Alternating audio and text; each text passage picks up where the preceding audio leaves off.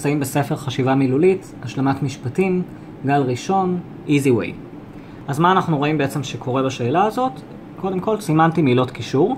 מילות קישור עם משמעות חיובית, כמו של סיבה ותוצאה, או כמו של הוספה, אה, סומנו בקו ישר, מילות קישור עם ניגוד, כמו אח, אה, סומנו בקו גלי. ועכשיו בואו נראה את ההשלמות עצמן, נעבור ממש משפט משפט.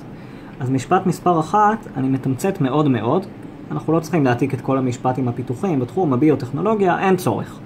אז אנושי רב, מעט כסף.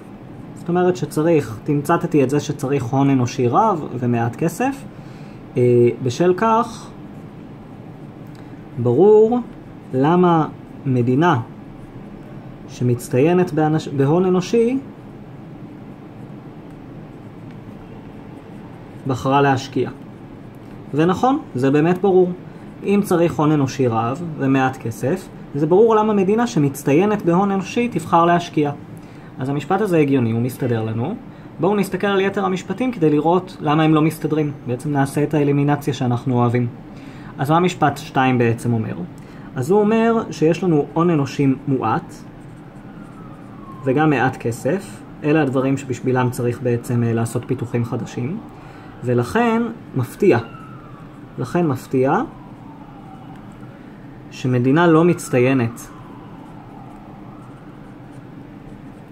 בהון אנושי, אתם כבר מבינים את ההמשך, בחרה להשקיע.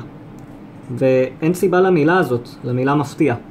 זה באמת לא מפתיע, כי אמרנו שבשביל הפיתוחים האלה צריך מעט הון אנושי, אין צורך במיוחד. תשובה מספר 3, אז מה תשובה מספר 3 אומרת? היא אומרת שצריך אנושי רב, אך גם הרבה כסף. למה אך? למה מילת הקישור הזאת עוזרת לי? זאת אומרת, דווקא יש פה התאמה בין זה שצריך גם את זה וגם את זה. זאת אומרת, פה בגלל אי ההתאמה בין מילות הקישור, זה הולך. שימו לב כמה חשוב לוודא מהן מילות הקישור ומה הסוג שלהן.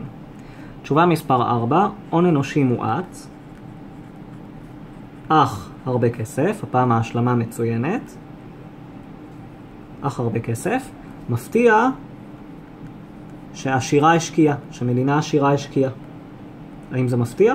לא, אנחנו כבר אמורים לדעת אחרי כל כך הרבה משפטים שזה לא מפתיע בכלל.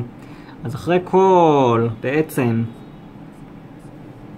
אה, האלימינציה שעשינו, אנחנו יכולים להגיד בלב שלם שמשפט מספר אחת מתאים, ושלהכיר את מילות הקישור מועיל.